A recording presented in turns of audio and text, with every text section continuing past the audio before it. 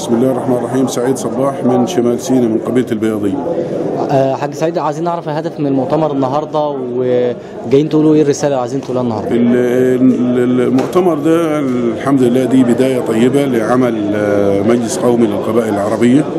آه، بيلتقوا فيه جميع القبائل وخصوصا إن أنت تعلم جيدا أن القبائل على مستوى الجمهورية من الصعيد لاسكندرية لا لا مطروح لا شمال لا جنوب سيناء لا بورسعيد لا الفيوم. فدي بداية آه، كانوا بيحلموا بها القبائل العربية الممتدة على مستوى الجمهورية أن هم يلتقيوا ويتعارفوا مع بعض خصوصا الأطباع ولتأمين حدود مصر من ناحية آه، ليبيا ومن ناحية السودان ومن ناحية آه، فلسطين ومن ناحية الجانب الآخر. إحنا بنسعى من خلال هذا الملتقى إن إحنا نأكد على وطنية القبائل العربية وانتمائها لمصر وإن حيظلوا آه، يخلصوا للقوات المسلحة والشرطة والرئيس القائد عبد الفتاح السيسي. مبارك الرشيدي آه، أمين المجلس القومي لشؤون القبائل المصرية.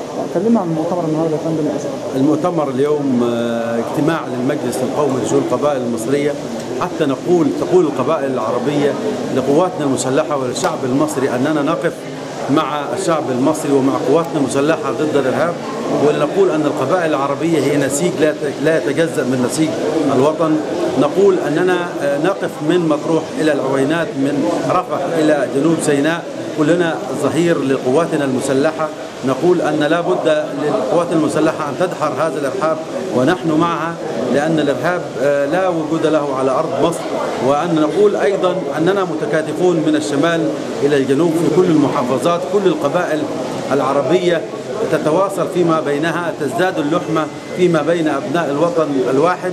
نقول أننا بدأنا عصرا جديدا من حماية وطننا ظهر السيادة الكاملة للقوات المسلحة على الحد الشمالي الشرقي ب- بإجراء إخلاء الشريط الحدودي لأن السيادة كانت منقوصة من خلال الأنفاق ومن خلال العبث الذي نبهنا عليه مرارا وتكرارا. لابد من غلق هذه الأنفاق التي تأتي بالشر من الشرق إلى مصر. نقول الحمد لله أنها انتهت انتهت القوات المسلحة من فعل ذلك ونحن نقف. واليوم نؤكد أيضا من خلال اجتماعنا على هذه المفاهيم التي آه، سوف يحويها العال أبو السعود الأخرسي شيخ قبيلة الأخرسة. آه، نائب رئيس رابطة اتحاد القبائل العربية عضو المجلس القومي للقبائل العربية.